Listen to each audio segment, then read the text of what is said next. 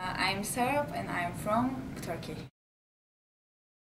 I'm here uh, for three months. Omnicom is a good school in Toronto. That's why I am in. I am here for second time.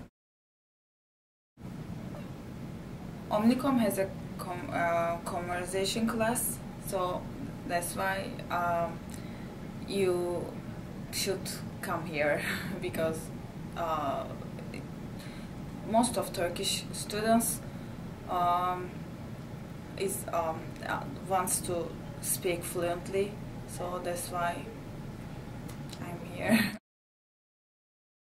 speaking, speaking, because um, grammar is my grammar is good, but speaking is difficult for me. That's why I'm here.